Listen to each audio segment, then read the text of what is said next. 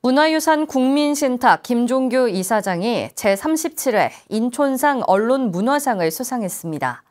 천태종 전국신도 회장 등을 역임한 독실한 불자로 우리나라 고문헌과 문화유산을 수집하고 지켜온 자랑스러운 불자인데요. 김종규 이사장은 수상을 계기로 우리 문화유산에 대한 국민적 관심과 청소년 교육의 중요성을 강조했습니다.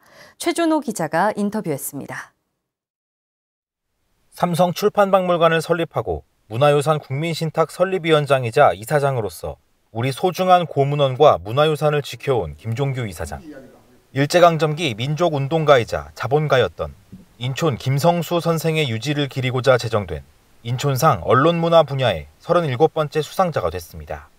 어린 시절 맏형이 설립해 운영하는 삼성 출판사의 영향으로 책과 밀접한 삶을 살았고 자연스럽게 문화유산과 우리의 역사에 관심을 갖게 됐습니다.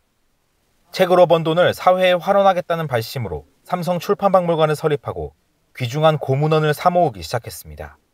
최초의 금속활자본으로 알려져 있는 직지심체 요절 영인본과 남명증도가를 비롯해 활자 문화가 꽃피었던 조선초, 월인천강지곡, 월인석보 등 많은 불교 고문원들이 박물관에 자리하고 있습니다. 부산 10년 동안에 보수동 뒷 책방 뒷골목을 살다시피 하면서 어, 했던 거가 어, 그 유명한 지금 초조 대장경이 저희 박물관에 국보로 지정되어 있습니다만은 어, 어린 석보를 비롯해서 어, 보물이 한 10여 전 됩니다. 문화유산 국민신탁은 19세기 영국에서 일어났던 민간 주도의 문화 자연유산 보존 운동인 내셔널 트러스트 운동에서 모티브를 따왔습니다. 회원들이 십시일반 모은 기금으로 문화유산을 지키는 특수법인으로 2006년 문화유산과 자연환경 자산에 관한 국민신탁법이 국회를 통과하면서 2007년 설립됐습니다. 정말 만시지탄이지만 우리 문화유산을 정말 지금 잘 지켜나가야 되기 때문에 회원들이 지금 16,000명이 넘었습니다. 앞으로 계속해서 뭐 더 우리 스스로 지금은 정부가 어느 시기까지 마중물을 넣어주는 것이지 민간운동이기 때문에 이 자리를 빌려서 이야기했습니다만 아, 우리 예, 많은 국민들이 관심을 좀 가져주면 좋겠습니다.